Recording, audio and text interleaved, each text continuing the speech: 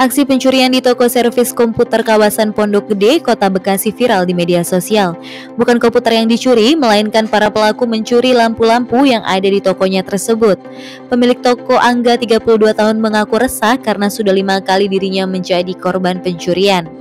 Aksi pencurian ini viral lantaran pelakunya yaitu seorang perempuan dan laki-laki yang berboncengan sepeda motor. Dengan santainya, kedua pelaku itu mengambil lampu di toko yang berada di Jalan Raya Jati Makmur, nomor 22 Pondok Gede, Kota Bekasi. Angga mengaku jika yang dicuri oleh pelaku adalah hanya sebuah lampu yang memang nominalnya cukup kecil yaitu kisaran 300 ribu untuk dua lampu yang telah dicuri itu. Hanya saja, kejadian yang dialami korban ini bukan kali pertama melainkan sudah lima kali terjadi. Jika melihat dari CCTV, Angga mengaku jika para pelaku ini merupakan suami istri sebab beberapa kali pencurian dilakukan dengan pelaku yang sama, di mana keduanya seolah-olah parkir di depan toko milik korban. Melihat kondisi sepi, kedua pelaku langsung menjalankan aksinya.